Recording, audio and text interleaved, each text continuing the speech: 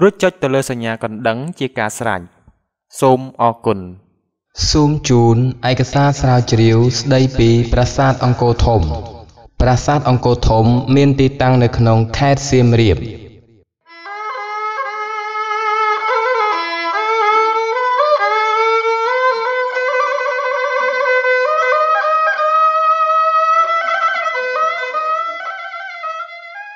ប្រាសាទអង្គរធំ គឺជារាជធានីចុងក្រោយគេបង្អស់ និងឋិតថេរជាងគេនៃសម័យអង្គររហូតដល់សតវត្សទី15ដែលជារាជធានីដ៏អស្ចារ្យមួយ និងជាកន្លែងសាសនាព្រមទាំងរដ្ឋបាលនៃអាណាចក្រខ្មែរទីក្រុងនេះត្រូវបានកសាងឡើងនៅចុងសតវត្សទី12ដោយព្រះបាទជ័យវរ្ម័នទី7 ដែលព្រះអង្គសោយរាជ្យពីឆ្នាំ1181ដល់ឆ្នាំ1220ដែលទ្រង់មានមរណនាមថាមហាបរមសង្គតបតទីក្រុងនេះគ្របដណ្ដប់លើផ្ទៃដីដែលមានទំហំ9គីឡូម៉ែត្រក្រឡា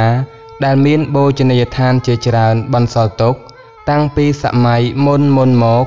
និងសម័យព្រះបាទជ័យវរ្ម័នទី7 និងអ្នកស្នងរាជពីព្រះអង្គបានកសាងជាបន្តបន្ទាប់នៅចំកណ្ដាលនៃទីក្រុងនេះ មានប្រាសាទមួយតំណាងឲ្យព្រះបាទជ័យវរ្ម័នទី7នោះគឺប្រាសាទបាយ័នប្រាសាទអង្គរធំត្រូវបានកសាងជារាជធានីរបស់ព្រះបាទជ័យវរ្ម័នទី7និងជាមជ្ឈមណ្ឌលនៃស្ថាបនាសំណង់នានារបស់ទ្រង់ សិលាចារឹកមួយដែលគេបានរកឃើញនៅរាជធានីបានបញ្ជាក់ថា ព្រះបាទជ័យវរ្ម័នទី7គឺជាកូនកំឡោះនិងរាជធានីគឺជាកូនក្រមុំរបស់ទ្រង់អំពីប្រវត្តិនៃឈ្មោះថាអង្គរធំ ពាក្យថាអង្គរធំនេះ គឺមានន័យថារាជធានីឬជាទីក្រុងដែលធំ រាជធានីនេះ បានកសាងឡើងតាំងពីចុងសតវត្សទី9 ដោយព្រះបាទយសោវរ្ម័នទី1មានឈ្មោះថាយសោធរៈបុរៈឬក្រេយៈសថរៈបុរៈ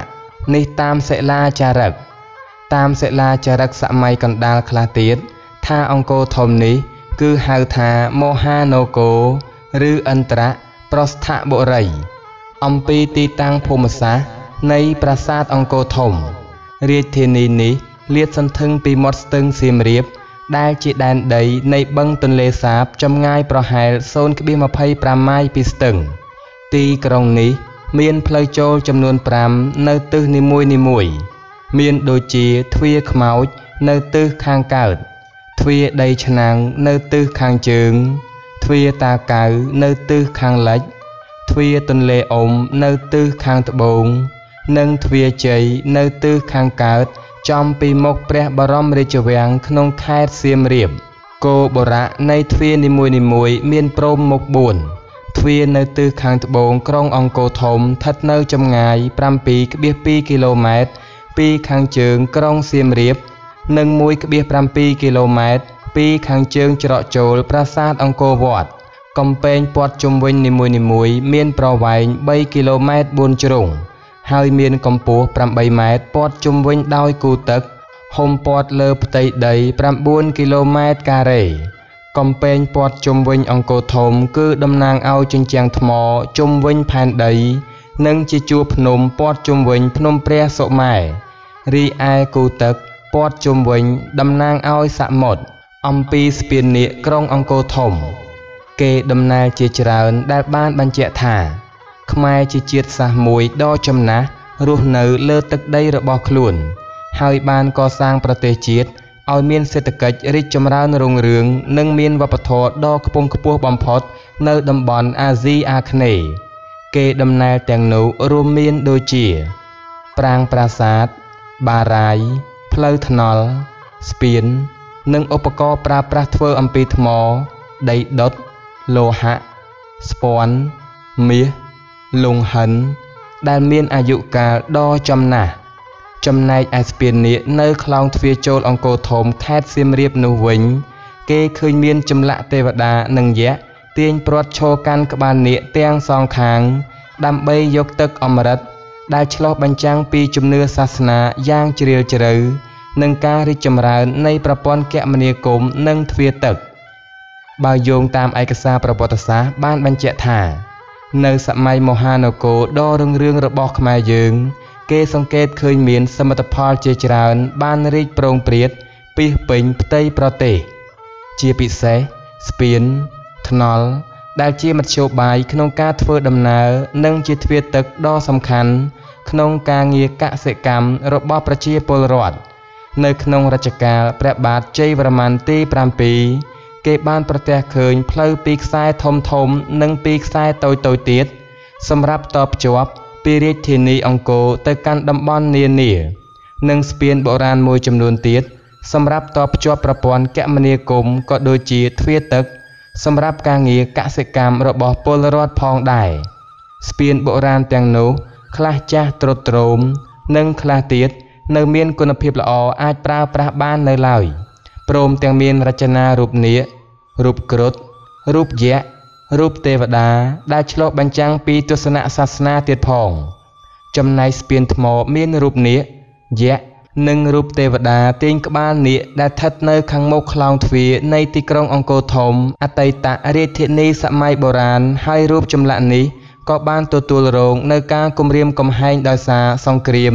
ខូចខាតអស់មួយចំនួនផងដែរពិសេស ចម្លាក់ស្ពានរូបនាគនៅខាងមុខខ្លោងទ្វារប្រាសាទអង្គរធំផ្នែកខាងត្បូងឆ្លងកាត់ទន្លេអ៊ុំដែលកសាងក្នុងរជ្ជកាលព្រះបាទជ័យវរ្ម័នទី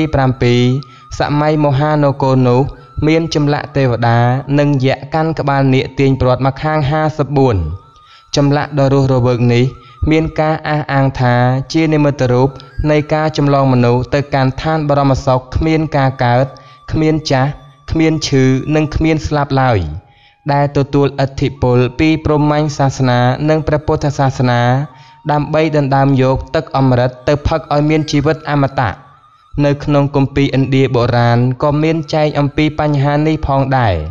គឺឋានមនុស្សនិងឋានលើតភ្ជាប់គ្នាទៅដោយបន្ទាត់ពិសិដ្ឋមួយតំណាងឲ្យឥន្ទនូ ដែលមានកសិនទឹកតំណាងឲ្យចក្រវាល អត្តន័យនៃចម្លាក់នេះត្រូវបានស្ថាបត្យករយើងឆ្លាក់នៅតាមវត្តអារាម និងទីសាធារណៈមួយចំនួនរហូតដល់សប្តាហ៍ថ្ងៃដែលមានការអះអាងថាព្រះពុទ្ធបរមគ្រូនៃយើងបានយាងចុះពីឋានសួគ៌ត្រៃត្រឹងតាមជណ្ដើរឥន្ទនូនេះ ហើយជណ្ដើរនេះនឹងជួយចម្លងមនុស្សដែលធ្វើបុណ្យសន្សំកុសលបានច្រើនឲ្យទៅកើតនៅឯឋានសួគ៌ទៀតផង មានការកត់សម្គាល់ថា ចាប់តាំងពីសម័យអង្គរនាគច្រើនតែងទ្រដោយមកដែលតំណាងឲ្យត្រីសមុទ្រនាគក៏ជាយានជំនិះអចិន្ត្រៃយ៍របស់ព្រះភិរុណដែលគេសង្កេតឃើញនៅតាមក្បាច់ចម្លាក់ខាងជើងប្រាសាទអង្គរវត្ត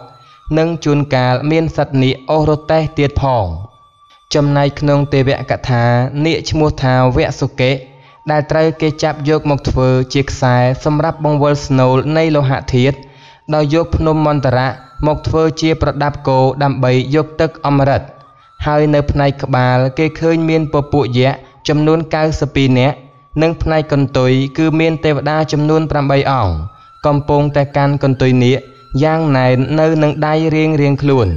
ដើម្បីទាញបង្វិលភ្នំនេះឲ្យកើតទៅជាភោគផលដោយសារនាគមានសារៈសំខាន់បែបនេះទើបគេសង្កេតឃើញស្ថាបត្យកម្មយើងឆ្លាក់នៅតាមខ្លោងទ្វារ ផ្ដែស៊ុំហោងជាង និងតាមផ្លូវចូលវត្តអារាម និងប្រាសាទយ៉ាងច្រើន តាំងពីសម័យបុរាណរហូតដល់សពថ្ងៃចំណែកឯក្នុងជីវភាពរស់នៅប្រចាំថ្ងៃ ការកសាងស្ពានឆ្លងកាត់ព្រែកស្ទឹងទន្លេ ដើម្បីតភ្ជាប់ប្រព័ន្ធគមនាគមន៍និងជាទ្វារទឹកដ៏សំខាន់សម្រាប់ការងារកសិកម្មទៀតផង ហើយស្ពានទាំងនោះបន្ទាប់ពីកសាងរួច គឺគេតែងតែរចនារូបនាគលំអផងដែរសំណង់ស្ពាននាគនៅខ្លោងទ្វារអង្គរធំនេះ បានឆ្លុះបញ្ចាំងពីជំនឿសាសនារបស់សង្គមខ្មែរយ៉ាងជ្រាលជ្រៅចំពោះទឹកអមរិតដែលជាវត្ថុស័ក្តិសិទ្ធិអាចជួយឲ្យមនុស្សរួចផុតពីជំងឺបៀតបៀនឧបទ្រពចង្រៃមានសិរីសួស្តីជាពិសេសមានជីវិតអមតៈទៀតផង លើសពីនេះទៀតសំណង់ស្ពាននាគនេះ ក៏មិនខុសប្លែកពីស្ពាននានានោះដែរពពោលគឺបានឆ្លុះបញ្ចាំងពីការរីកចម្រើននៃប្រព័ន្ធគមនាគមន៍ទ្វារទឹកដែលជាប្រភពនៃការងារកសិកម្មនិងទំនៀមទម្លាប់ប្រពៃណីរបស់ជាតិសាសន៍ខ្មែរដែលនិយមឆ្លាក់រូបនាគនៅតាមវត្តអារាម និងសំណង់ប្រាសាទនានា និងនៅតាមទីសាធារណៈផងដែរ។ ប្រិយមិត្តស្ដាប់ជាទីគោរពនឹងជាទីមេត្រីបាទឯកសារស្រាវជ្រាវស្ដីអំពីប្រាសាទអង្គរធំដែលប្រាសាទនេះគឺជារាជធានីបុរាណរបស់ខ្មែរយើង បាទដែលបើយើងនិយាយទៅពាក្យអង្គរធំនេះគឺគេចង់សំដៅទៅលើរាជធានីដែលជាទីក្រុងធំ កាលពីសម័យព្រះបាទជ័យវរ្ម័នទី7បាទអញ្ចឹងអត្ថបទនេះក៏ជាអត្ថបទស្រាវជ្រាវដែលសំខាន់ផងដែរហើយជាពិសេសខ្ញុំបាទក៏ចាប់អារម្មណ៍ទៅលើ កន្លែងបញ្ជាក់មួយចំនួនតាក់ទងទៅនឹងស្ពាននាគនៅក្នុងក្រុងអង្គរធំ ដែលគេបានបញ្ជាក់អំពីចំណុចមួយចំនួនតាក់ទងទៅនឹងចំនួនដូចជាចំនួនយក្សនិងចំនួនទេវតាដែលទាញនៅនាគនោះបាទអរគុណច្រើនសង្ឃឹមថាលោកនាងនឹងពេញចិត្តប្រសិនបើលោកនាងដែលជាប្រិយមិត្តថ្មីចង់ទទួលបានវីដេអូបន្តទៀតលោកនាងអាចចុច Subscribe ឬចុចត្រូវសញ្ញាកណ្ដឹងដើម្បីទទួលបានវីដេអូថ្មីៗជាបន្តគណៈពេលនេះខ្ញុំបាទសូមអរគុណនិងសូមគោរពលាជូនពលលោកអ្នកសុខភាពល្អនិងសំណាងល្អ